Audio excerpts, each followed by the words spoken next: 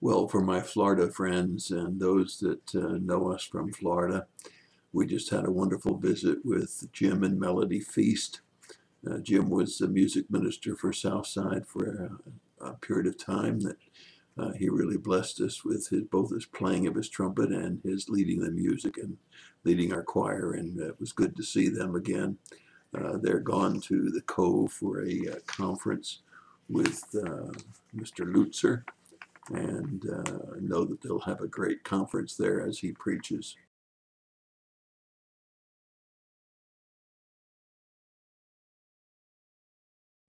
We're in the book of Daniel, and uh, it's the fewest of the words of the four top major prophets, uh, only 12,100 words, and uh, so a relatively short book.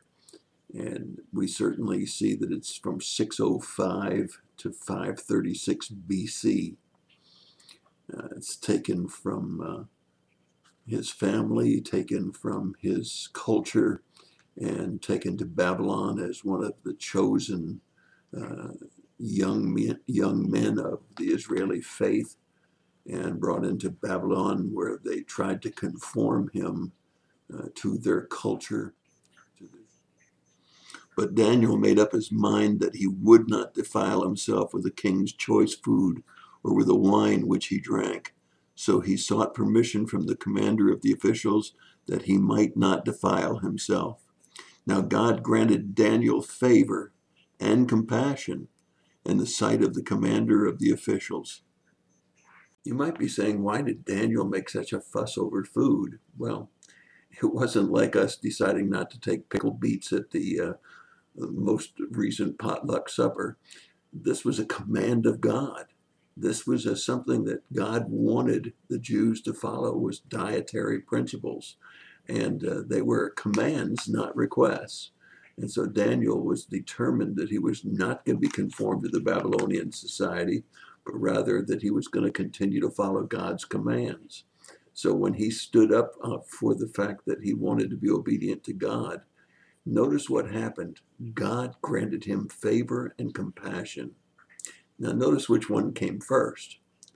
Daniel's obedience came before the fact that God honored him then with both seeing compassion and favor from God because of what Daniel had done.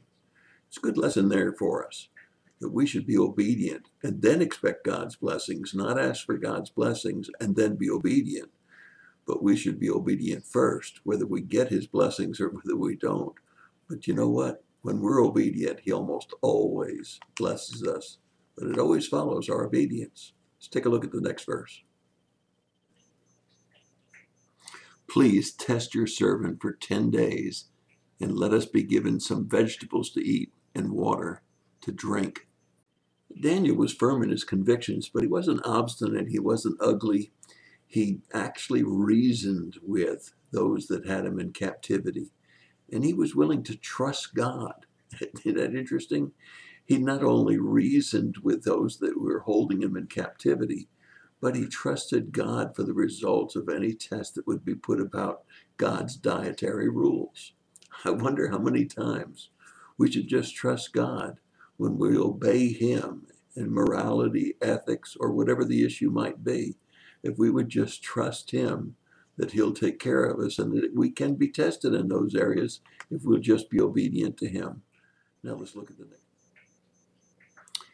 As for these four youths, God gave them knowledge, intelligence in every branch of literature and wisdom.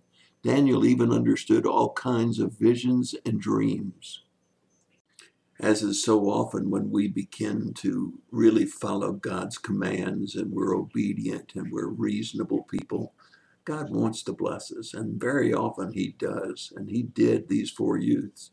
Uh, he gave them special abilities to learn the materials the Babylonians were giving them, but they were living for God, not for the Babylonians.